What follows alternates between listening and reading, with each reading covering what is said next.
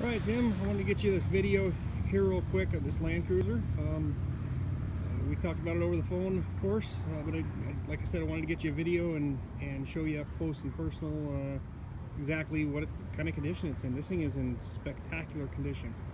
Uh, like I said, it is black on black, black exterior, black interior.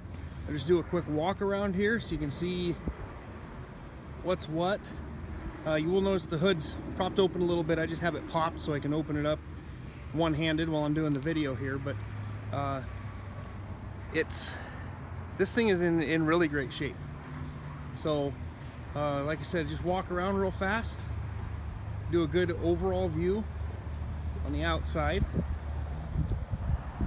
Everything looks to be in pretty top shape. And then uh, I'll open up that hood and I'll open up the doors inside too so you can see exactly what interior condition is like. So back over here to the hood. Like I said I'll open this up and just kind of zoom in. Here's the uh, engine compartment there. The front left here on the driver's side is where it was in the accident the deer hit and as you can see, there's not anything that shows that it's that it's bad.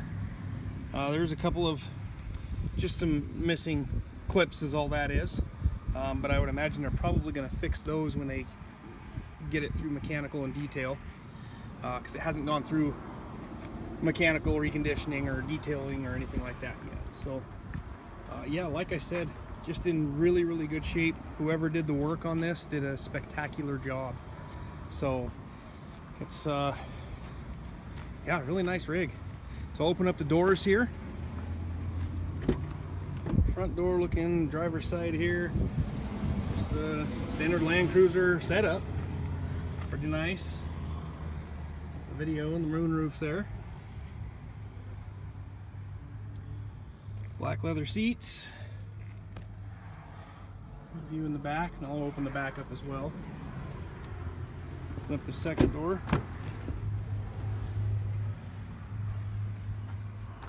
There's the second row. And then back into the cargo area. And I'll open that up for you as well, and you can see in there.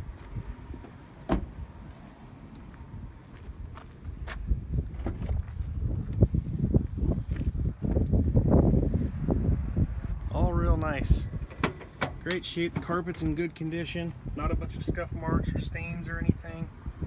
Spectacular vehicle, especially for the price point. Like I said, we did try to adjust the price enough to compensate for that accident there. Um, you know, with the miles and condition of the vehicle, it should be probably a little more, but uh, we try to compensate for the for the deer impact there. So anyhow, I'll get this sent off to you and, and hopefully talk to you soon. Thanks, Tim.